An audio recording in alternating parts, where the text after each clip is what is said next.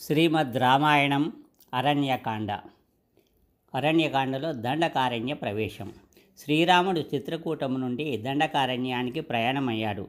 మార్గమధ్యంలో అత్రి మహాముని ఆశ్రమం చేరి ఆయన భార్య అనసూయాదేవిని దర్శించుకొని ఆనాడు ముని దంపతుల ఆతిథ్యాన్ని స్వీకరించారు. తరువాత వారు దండకారణ్యమునకు నడక సాగించారు. సూర్యుడు నడినతి మీదకు వచ్చి తన ప్రతాపాన్ని చూపుతున్నాడు. కొంత దూరం అలాగే నడక సాగించి వేద విద్యా పారంగతులు అలరారే ఆశ్రమాలతో నిండిన దండకారణ్యంలో సీతారామ లక్ష్మణులు ప్రవేశించారు. జ్ఞాన సంపన్నులైన మునులందరూ శ్రీరామచంద్రుడు తన పత్నితో సోదరునితో వస్తున్నాడని తెలిసి వారికి ఎదురు వెళ్ళి ఆనందంతో నిండిన హృదయంతో హృదయాలతో మంగళ వాక్యాలతో స్వాగతం పలికారు. పర్ణశాలలోనికి తీసుకొని వెళ్ళి అతిథి మర్యాదలతో మధుర ఫలాలు పానీయాలు సమర్పించారు. చిరునవ్వుతో శ్రీరామచంద్రుడు వాటిని స్వీకరించాడు.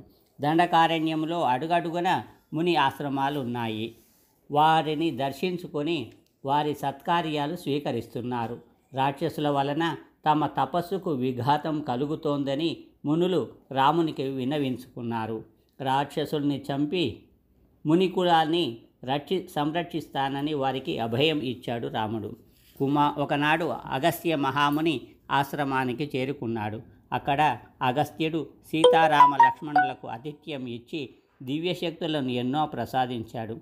రామచంద్ర ఇక్కడకు సమీపంలో గోదావరి నదీ తీరాన పంచవటి క్షేత్రం ఉంది. అక్కడ ఆశ్రమం నిర్మించుకొని నివసించండి. అది మీకు నివాసయోగ్యమైన ప్రదేశం అని చెప్పి వారిని ఆశీర్వదించి పంపించాడు అగస్త్యుడు. విరాధవద అగస్త్యుని వద్ద సెలవు తీసుకొని సీతారామ లక్ష్మణులు నడుస్తూ ముందుకు సాగారు. కొంత దూరం పోయిన తర్వాత ఎదురుగా చిందర వందరైన చెట్ల తీగలు విరిగిన చెట్ల కొమ్మలు చిందర వందరగా పడి ఉన్నాయి. వాటిని దాటుకుంటూ మరికొంత దూరం నడిచారు. ఎత్తైన కొండ వంటి దేహంతో తలలేదు. వక్షస్థలంలో ఒక కన్ను దాని కింద పెద్ద నోరు ముందుకు పొడుచుకు వచ్చిన పొట్ట. వికృత రూపంతో బీభత్స దేహంతో విరాధునే రాక్షసుడు సీతారామ లక్ష్మణులకు ఎదురుగా వస్తున్నాడు. సీతారామ లక్ష్మణులు వాడి కంటబడటంతో వాడు ఒక అరుపు అరిచి వీధికి వస్తూ ఎవరురా మీరు? ఆయువు మూడినై మీరు ఈ ప్రాంతానికి వచ్చారు. ఇంతకు మీ వేషాలేమిటి? చేతిలో బాణాలు మహామునుల వలె నారచీరలు కట్టి జడలు వేసుకున్నారేమిటి? నేనెవరినో తెలుసా? వీరహదునని రాక్షసుడను. రోజు ఋషుల మాంసము ఇష్టమైన ఆహారంగా తీసుకుంటాను. ఈ సుందరిని నా భార్యగా గ్రహించి మీ రక్తం త్రాగుతాను అని రంకెలు వేయసాగాడు. ఆ మాటలు వింటున్న శ్రీరాముని కన్నులలో నిప్పులు చెలరేగాయి.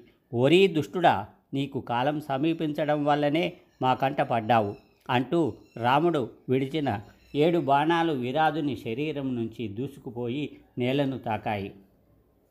కుపితుడైన విరాధుడు శూలం ముందుకు పెట్టి భీకర గర్జన చేస్తూ వికృత వదనంతో రామలక్ష్మణుల మీదికి వస్తున్నాడు. రామలక్ష్మణులు బాణాలతో వానిని అడ్డుకున్నారు. ఎన్ని బాణాలు తగిలినా వాడు చలించకుండా శూలం విసరడము రాముడు దానిని రెండు ముక్కలుగా ఖండించడము ఒకే కాలంలో జరిగాయి. రామలక్ష్మణులు వాడి బాణాలతో వాని భుజాలు నరకడం మొదలుపెట్టారు. శ్రీరాముడు అంబులపొది నుండి ఒక బాణం తీసి స్మరించి విరాధుని వైపు వదిలాడు. ఆ బాణం విరాధుని తునాతునకలు చేసింది. వెంటనే ఆ స్థలంలో వారి ముందు ఒక గంధర్వుడు నిలబడి ఉన్నాడు. ఓ ఇక్ష్వాకు వంశీయుడా ఇప్పటికీ తెలిసింది మీరెవరో? నువ్వు కౌసల్యాదేవి సుతుడవని ఇతడు నీ తమ్ముడని ఈమె నీ అర్ధాంగి సీతాదేవి అని తెలుసుకున్నాను. నేను తుంబురుడనే గంధర్వుడను. కుబేర శాపం వల్ల ఈ వికృత రూపం లభించి ఇన్ని అవస్థల పాలయ్యాను. మీ చేతులలో నాకు శాప విమోచనం అవుతుందని గ్రహించాను. ఈనాటితో నా రూపం నాకు లభించింది. మీరు ఇక్కడి నుండి కొద్ది దూరం వెళితే అక్కడ అగస్త్య మహా మహర్షి ఆశ్రమం ఉన్నది. వారిని దర్శించండి. ఆయన మీకు సర్వశుభాలు అనుగ్రహిస్తాడు అని గంధర్వుడు అంతర్ధానమయ్యాడు. పంచవటి తర్వాత అగస్యుల వారి ఆశ్రమాన్ని దర్శించి వారితో తమ నిర్ణయాన్ని తెలియజేశారు. అందుకు అగస్త్యుడు రామచంద్ర ఇక్కడకు రెండు యోజనాల దూరంలో సాధు జలాలతో నిండిన సరోవరాలు మధుర ఫలాలతో నిండిన వ- వృక్షాలతో నయన మనోహరంగా ఉండే జంతువులతో పక్షులతో అలరారే పంచవటి మీకు నివాసయోగ్యంగా ఉంటుంది. మీరు నా ఆశ్రమంలో ఉందామని వచ్చారు. కానీ సీతకు పంచవటి సుఖంగా ఉంటుందని నా అభిప్రాయం కనుక అది మీకు అన్ని విధాల యోగ్యదాయకంగా ఉంటుంది. అక్కడ పవిత్ర గోదావరి నది అతి దగ్గరగా ఉన్నది. అక్కడ ఉండి ముని జనాన్ని రక్షించు. అదిగో ఆ కనిపించే మధుకవనం దాటి ఉత్తరంగా వెళితే ఐదు మర్రి చెట్లు అక్కడ ఒక పర్వతము దానినే పంచవటి అంటారు. ఆ అని ఆ ముని తెలిపాడు. సీతారామ లక్ష్మణులు ఆయన ఆశీస్సులు తీసుకొని పంచవటి ప్రాంతానికి ప్రయాణం సాగించారు. గోదావరి నదీ తీరాన గల పంచవటిని చేరుకున్నారు. అచ్చట కొంతకాలం నివసించాలని తలచి ఒక పర్ణశాలను నిర్మించుకొని కాలం గడిపసాగారు. శూర్పణక పరాభవం కరదూషణునాదుల కథ. పంచవటిలో పర్ణశాల నిర్మించుకొని కందమూలాలు తింటూ మునుల తపస్సును అటంకపరుస్తున్న రాక్షసులను వధిస్తూ మునులకు అన్ని విధాల రక్షణ కల్పిస్తున్నారు రామలక్ష్మణులు. ఒకరోజు లంకాధిపతి రావణుని చెల్లెలు శూర్పణక పంచవటికి వచ్చింది. సుందరమైన రూపము గల రామలక్ష్మణులను చూసి వారి అందానికి ముగ్ధురాలై నీలమేఘ శ్యాముడు అరవింద దళాయతాక్షుడు అయిన రాముని తన సౌందర్య సంపత్తితో తన వైపు మలుచుకోవాలని తలచి వెంటనే ఆమె అందాల సుందరిగా మారిపోయి రాముని వద్దకు వచ్చి నన్ను వరించమని కోరింది శూర్పణక. అందుకు రాముడు నాకు వివాహం అయినది నేను ఏకపత్ని వ్రతుడను. నా భార్య జానకిని తప్ప ఇతర స్త్రీలను కన్నెత్తైనా చూడను అంటూ శూర్పణకను తిరస్కరించాడు.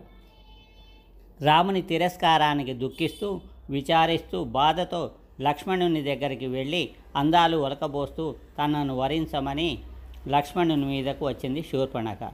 లక్ష్మణుడు రెండు అడుగులు వెనుకకు వేసి నాకు వివాహమైనది. నేను అలాంటి వాడిని కాదు. నన్ను విసిగించక వేరే వారిని పెళ్ళి చేసుకో అని సలహా ఇచ్చాడు. ఆ మాటలను లెక్క చేయక శూర్పణక లక్ష్మణుని ముట్టుకోబోయింది. లక్ష్మణుడు కోపంతో శూర్పణకను చంపబోయాడు. ఆడదని తలచి ఆమె ముక్కు చెవులు కోసి జుట్టు పట్టుకొని నెట్టేశాడు. ముక్కు చెవులు కోయబడిన శూర్పణక కారుతున్న రక్తంతో అందవికారంగా మారిన ముఖాన్ని చూసుకొని రాక్షస శరీరం దాల్చి ఆహాకారాలు చేస్తూ ఒడలంతా రక్తమై ముక్కు చెవుల వెంట బొటబొట కారుతున్న రక్తంతో వికారంగా తయారై ఏడుస్తూ తన సోదరులైన ఖరదూషణుల దగ్గరకు వెళ్ళి తనకు జరిగిన అవమానమును గురించి చెప్పింది శూర్పణక మానవ మాతృలకింత పొగరా అంటూ కోపంతో లేచి తమ సైన్యాలు పదునాలుగు వేల మంది రాక్షసులను వెంటబెట్టుకొని రామలక్ష్మణులపై యుద్ధానికి వెళ్ళారు. వాళ్ళు అల్లంత దూరంలో ఉండగా రాక్షస మూకను చూచిన రాముడు లక్ష్మణ నీవు మేము వదినను జాగ్రత్తగా చూడు. నేనా రాక్షస మూకను సంహరిస్తాను అని చెప్పి వెళ్ళి రాక్షస మూకను ఎదుర్కొన్నాడు. పోరు ఘోరంగా జరిగినది. రామ బాణాలకు రాక్షసుల తలలు పుచ్చకాయల వలె ఎగిరి కుప్పలు కుప్పలుగా పడుతున్నాయి. చివరకు కరదూషణుల తలలు కూడా ఎగిరి నేల దాకాయి.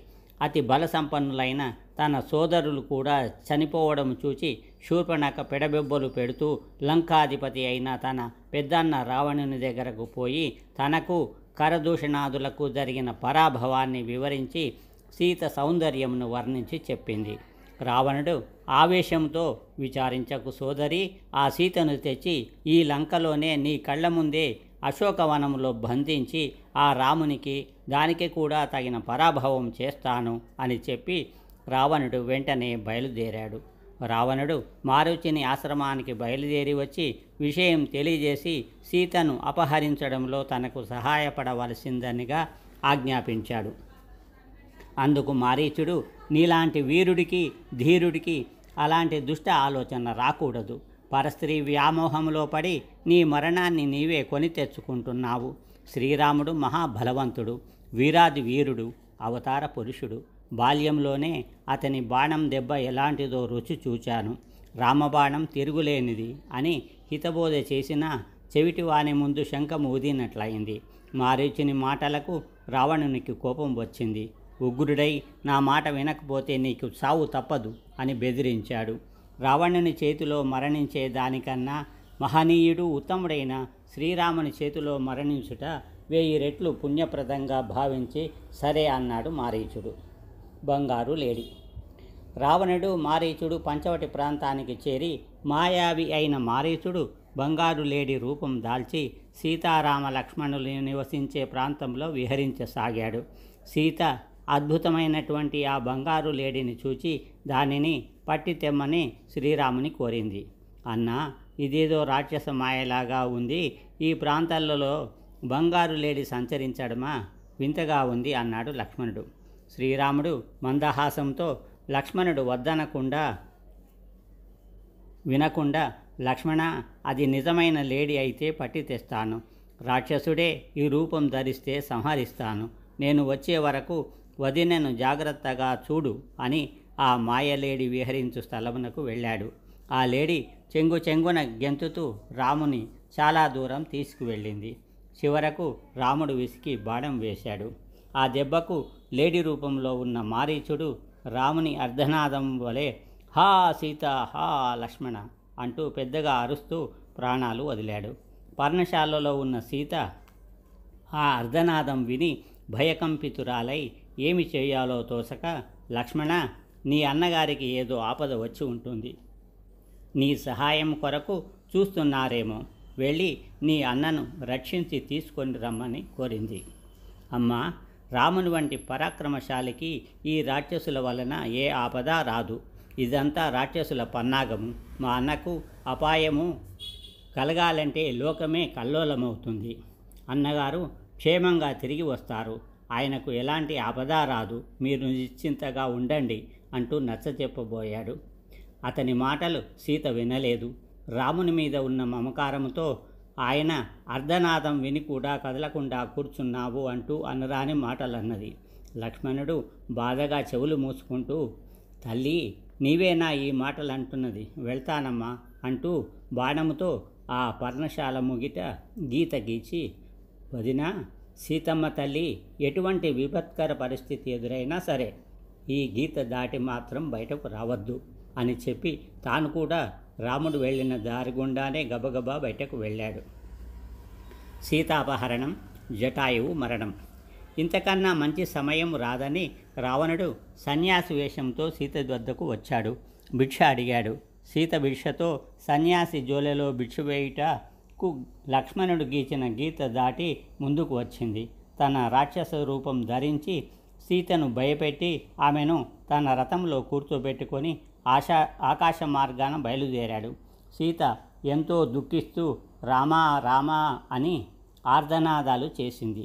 లక్ష్మణుని మాటలు వినక అతనిని ఎన్నో మాటలను అన్నాను అని పరిపరి విధాల తనను తాను నిందించుకుంది. రావణుడు సీతను అపహరించుకొని పోతుండగా జటాయు అనే పశురాజు చూశాడు. రామా లక్ష్మణ అనే అర్ధనాదాలతో విలపిస్తున్న సీతను చూసి ఆమెను రక్షించాలనుకున్నాడు. శరవేగంతో వెళ్ళి తన గోళ్ళతో రావణుని శరీరాన్ని రక్కింది. పదునైన ముక్కుతో పొడిచింది. జటాయువు తన శరీరాన్ని తూట్లు తూట్లుగా పొడుస్తుండడం సహించలేకపోయాడు రావణుడు.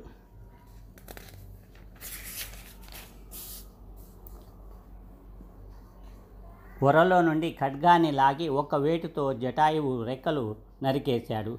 రెక్కలు తగిన జటాయువు ఎగరలేక నేల కూలిపోయింది.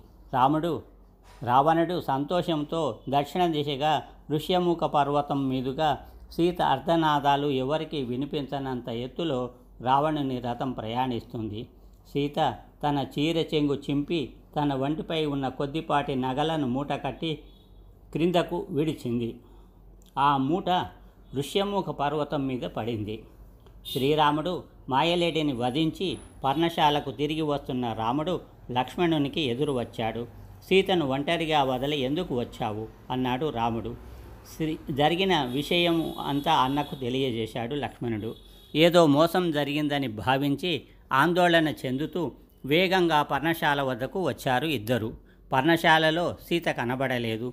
చుట్టుపక్కల ఎంత వెతికినా సీత జాడ తెలియలేదు. రామునికి దుఃఖం ఆగలేక సీత సీత అని చిన్న పిన్న చిన్న పిల్లవానిలా విలపించాడు.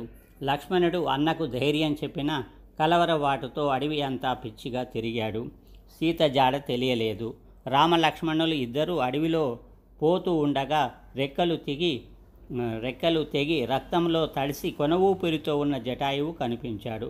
సీతను రావణుడు బలవంతంగా లంకాపురానికి ఎత్తుకొని పోయాడని రామలక్ష్మణులకు చెప్పి ప్రాణాలు వదిలాడు ఆ పక్షిరాజు.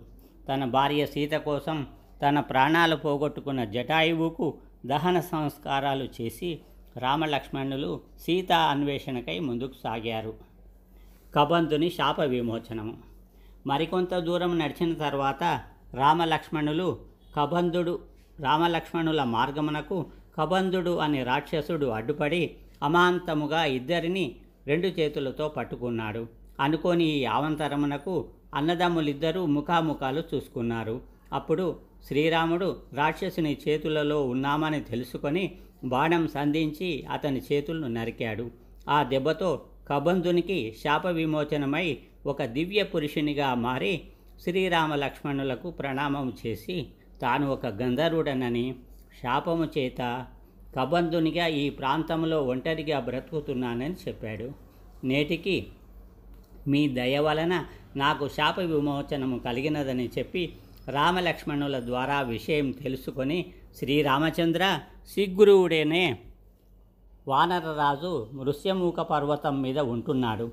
సీతమ్మను తీసుకొని వచ్చుటకు అతని సహాయం నీకు ఎంతైనా అవసరం ఉంది. కనుక మీకు సుగ్రీవుని మైత్రి విజయాన్ని చేకూరుస్తుంది. అతనిని కలుసుకోమని చెప్పి వెళ్ళిపోయాడు గంధర్వుడు. శబరి ఆతిథ్యము. రామలక్ష్మణులు చాలా దూరం నడిచి పంపా సరస్సు వైపు వెళ్ళారు. ఆ నదీ తీరమున వారికి ఒక చిన్న తాటి ఆకులతో నిర్మించిన ఒక కుటీరము కనిపించింది.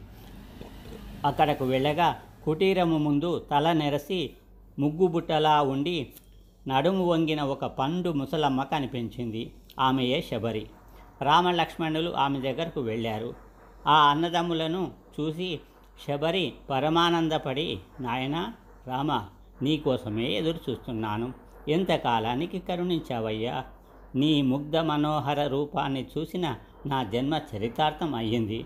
ఎప్పుడు తిన్నారో ఏమో బాగా అలసిపోయినట్లున్నారు.